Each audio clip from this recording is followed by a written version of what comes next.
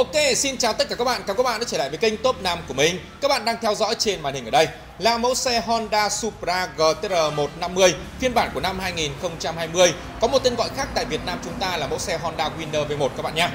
Và video ngày hôm nay vừa việc giới thiệu xung quanh một vòng chiếc xe các bạn đang theo dõi. Top 5 sẽ làm rõ hai nội dung mà hiện nay anh em quan tâm rất nhiều, vừa cập nhật mới nhất luôn. Nội dung thứ nhất ấy là mẫu xe Honda Supra GTR 150 sẽ bị khai tử tại thị trường Indonesia trong thời gian tới và thay thế vào đó là một mẫu xe mẫu xe Honda Winx quen thuộc tại Việt Nam chúng ta các bạn nhé. Và nội dung thứ hai, mình sẽ cập nhật cụ thể giá bán mới nhất của mẫu xe Honda Supra GTR 150 này cũng như là mẫu xe Honda Winner X thời điểm sau Tết Nguyên đán năm 2021 để anh em nào quan tâm ấy các bạn có thể tham khảo. Hiện nay thì các bạn đang theo dõi trên màn hình một thiết kế rất gọn đẹp này của mẫu xe Honda Supra GTR 150 ở đây. Đặc biệt hơn nữa, nó nó chứa được đầy đủ các yếu tố các bạn nha. Từ phần trang bị đến phần động cơ. Hiện tại động cơ của mẫu xe này cũng được nâng lên một mã lực so với mẫu Honda Winner X. Để các bạn có thể theo dõi phần tem xe, to bản được thiết kế lại khá là ok và đẹp. Ti phuộc được làm to hơn, êm chắc hơn, các bạn đi đường cực kỳ ok. Kết hợp với đó là tổng thể thiết kế được tinh chỉnh lại đem đến một cảm giác ấy vẫn là thuôn gọn của dòng xe Honda Winner V1 nhưng lại chứa đựng những cái nền đường nét thiết kế nhá, phong cách hơn, thể thao hơn của mẫu xe Supra GTR. Đây các bạn có thể nhìn chi tiết cận cảnh trên màn hình. Những cái logo GTR đây. Lốp xe thì vẫn tương tự các bạn nhé, vẫn sử dụng lốp IRC. Hệ thống nhông sen dĩa cũng vẫn tương tự giống như Honda Winner V1 tại Việt Nam cũng như là mẫu xe Honda Winner X, không có quá nhiều điểm khác biệt các bạn có thể nhìn chi tiết, mình sẽ giới thiệu qua một vòng trước đã. Sau đó sẽ đến phần nội dung chính của video ngày hôm nay để anh em nào quan tâm có thể tham khảo nhé hiện nay thì mẫu xe Honda Supra GTR 150 này còn khá nhiều hàng tại một số đại lý tư nhân ở khu vực miền Nam. Các bạn nào quan tâm có thể đặt hàng tại một số tư nhân đó các bạn nhé ví dụ như mình đang quay ở đây là tại Honda Hiếu Thành Phát, các bạn có thể theo dõi luôn. Một điểm khác biệt nữa trên mẫu xe Supra GTR 150 chính là cái phần đèn xi nhan được tách rời sang hai bên trên mẫu xe Honda Winner V1 thì đèn xi nhan được tích hợp chung với phần đèn hậu các bạn nhé. Mình chưa kết nắm với cái phần là dày chắn bùn phía sau này của mẫu xe Honda Supra GTR 150. Nó nhìn hơi thô một chút. Nếu được vuốt nhọn lại hoặc làm đẹp giống như Honda Winner X hay Honda Winner V1 thì cực kỳ hấp dẫn và ok hơn. Với rất nhiều đường nét thiết kế. Và nó khác một điểm nữa so với Honda Winner V1 cũng như Honda Winx ấy, là nó có à, cần cần gãy số là cả hai chiều các bạn nhé. Các bạn nào mà chưa quen với việc gãy số thì các bạn có thể sử dụng cần hai chiều trên mẫu xe Supra GTR 150 này. Còn lại mọi nội dung trên à, cái mẫu xe đều vẫn tương tự như à, Honda Winner V1 tại Việt Nam chúng ta. Các bạn có thể tham khảo luôn. Và hiện nay thì mẫu xe à, Supra GTR 150 các bạn đang theo dõi đang được bán với giá bán hiện tại tại một số đại lý tư nhân ở khu vực phía Nam. Giá bán mới nhất sau thời điểm mà Tết Nguyên đán năm 2021 cũng như trong thời điểm dịch Covid này thì giá bán là 50 triệu cho phiên bản các bạn đang theo dõi trên màn hình. Giá bán mình báo đến các bạn ấy là đã bao gồm thuế VAT và chưa bao gồm đăng ký. Anh em nào quan tâm, nhanh chân đến với một số đại lý tư nhân để các bạn có thể có cho mình những mẫu xe ở đây. Một điểm trừ trên cái mẫu xe này chính là chưa được trang bị hệ thống phanh chống bo cứng ABS giống như trên mẫu xe Honda Winx tại Việt Nam. Đây các bạn có thể nhìn phần đầu xe nhé. Điểm khác biệt nữa này chính là cái phần à, bát gắn biển số phía trước tại à, Indonesia thì à, họ yêu cầu phải bắn à, gắn cái bắt gắn biển số cả trước và sau. Cũng như đó được thay đổi thay đổi ở một số nội dung. Các nút chức năng phím bấm thì tương tự như Honda Winner X nhưng nó khác một chút so với Honda Winner V1 tại nó loại bỏ đi nút tắt bật đèn pha rồi. Và thay vào đó là mặt đồng hồ, la lá giống kiểu của mẫu xe Honda Solix đây các bạn có thể theo dõi trên màn hình.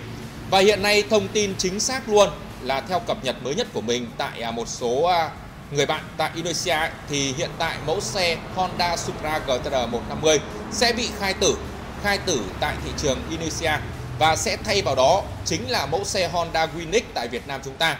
Nên ấy, trong thời gian tới cái mẫu xe này sẽ không còn hàng nữa các bạn nhé. Đây là lượt hàng cuối cùng rồi. Lượt hàng cuối cùng dành riêng cho mẫu xe GTR 150 này. Còn hiện nay vẫn còn một phiên bản Honda Winner V1 hay có tên gọi khác là Honda RS150R phiên bản V2 tại thị trường Malaysia hiện nay vẫn đang còn hàng và thông tin về việc khai tử của mẫu xe đó hiện tại vẫn chưa có. Theo như mình được biết thì tại thị trường Malaysia ấy, thì người ta thường chuộng những mẫu xe cũ hơn, kể cả những mẫu xe Exciter 135 tại Việt Nam chúng ta vẫn đang còn hàng các bạn nha Và sau đây thì mình sẽ chuyển sang mẫu xe Honda Winix mà chắc chắn trong thời gian tới sẽ được có mặt tại à, thị trường Indonesia. Hiện nay thị trường Indonesia ấy, nó luôn trang bị cho nó những cái màu sắc tem xe ấn tượng hơn. Đặc biệt hơn nữa là tại Malaysia thì những cái màu sắc của những mẫu xe, đặc biệt là những cái mẫu xe underbone này, mẫu xe côn tay ở đây ấy, thì nó có kiểu dáng thiết kế cũng như màu sắc nó làm ưa chuộng hơn rất nhiều, nổi bật hơn rất nhiều, tạo ra một cái sự năng động cho giới trẻ tại à, à, hiện nay. Hiện nay đây là các bạn đang theo dõi trên màn hình là ba phiên bản tiêu chuẩn, phiên bản thể thao không được trang bị phanh ABS vẫn là sử dụng phanh thường các bạn nhé. Hiện nay giá bán theo như mình cập nhật được tại à, đại lý Honda Hòa An 1 tại Lai Châu mới nhất sau thời điểm Tết Nguyên đán năm 2021 thì các phiên bản các phiên bản thể thao trang bị à, phanh thường giá bán sẽ vào khoảng tầm là 38 à, triệu còn các phiên bản được trang bị phanh ABS giá bán dao động trong khoảng từ 40 đến 41 triệu cho thời điểm sau Tết Nguyên đán năm 2021. Đây là phiên bản đen nhám các bạn đang theo dõi nhé. Phiên bản được trang bị phanh ABS và giá bán hiện tại vào khoảng tầm 40 triệu. 40 triệu ở đây là giá bán đã bao gồm thuế VAT và chưa bao gồm đăng ký. Các bạn có thể theo dõi một vòng xung quanh à, những cái mẫu xe này. Hiện tại Honda Winix vẫn đang là mẫu xe được à, rất nhiều các bạn trẻ ưa chuộng. Thứ nhất là giá rẻ, thứ hai là thiết kế có một trải nghiệm mới đem đến à, rất nhiều trải nghiệm này cho các bạn. Đặc biệt là những nước đề nước hậu trên mẫu xe này cũng đủ dùng các bạn nhé. Cho một mẫu xe côn tay nếu để so sánh với dòng xe Exciter 15VV 2021 hoàn toàn mới vừa ra mắt thì à, có thể nói nước đề của mẫu xe Honda Widic thì không thể bằng được. Tuy nhiên ấy, xét về tổng thể về mọi khía cạnh từ phần thiết kế đến phần động cơ cũng như giá bán thì có thể nói một điều là Honda Winner X à, đáp ứng được đầy đủ tiêu chí rồi. Đây thêm một phiên bản thể thao à, phiên bản camo trang bị phanh ABS nữa, các bạn có thể theo dõi ở đây. Giá bán cũng ngang bằng phiên bản đen nhám các bạn nha, cũng là 40 triệu các bạn có thể theo dõi một vòng xung quanh. Màu sắc này cực kỳ đẹp luôn. Những họa tiết tem xe mới trên phiên bản camo này nó khác đi một chút so với à, hai phiên bản ra mắt vào năm 2019 nhiều bạn thì yêu thích hơn với kiểu dáng thiết kế của cái phần tem xe cũng như logo của năm 2021 ở đây. Còn lại mọi thứ trên xe vẫn tương tự các bạn nhé nó chỉ khác hơn một chút so với phiên bản thể thao trang bị phanh thường, là nó có thêm à, phanh APS cũng như là hai hai chiếc lốp, là chiếc lốp của trang xin vân ngược thôi còn lại cơ bản vẫn tương tự. Với một số bạn nào ấy mà yêu thích những mẫu xe mà không đụng hàng bất kỳ một ai cả, các bạn có thể theo dõi trên màn hình ở đây là một phiên bản là Honda Winix được à, một đại lý ở miền Nam mà cụ thể là Honda Hồng Đức 6 với địa chỉ là 10 10E Nguyễn Trãi, phường Cái Khế, quận Ninh Kiều, thành phố Cần Thơ. Có lên cho mình nhá một à, bộ sơn độ, sơn độ các bạn nhá, các bạn lưu ý cho mình như vậy. Sơn độ thì à, giá bán nó sẽ đắt hơn một chút vào khoảng tầm 3 triệu rưỡi đến 3 triệu 7 cho những cái màu sắc sơn độ này nhưng ấy, cái nước sơn các bạn sẽ được bảo hành lên tới 3 năm. Khi các bạn bị bong chóc, mờ mốc lớp sơn, đại lý sẽ bảo hành cho các bạn nên các bạn hoàn toàn có thể yên tâm. Chắc chắn các bạn đi ngoài đường với màu sắc này sẽ không đụng hàng bất kỳ một ai cả, vì nó là độc tôn rồi.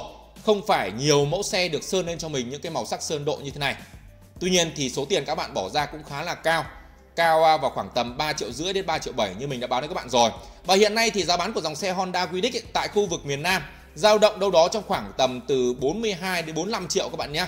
Cực kỳ cao luôn.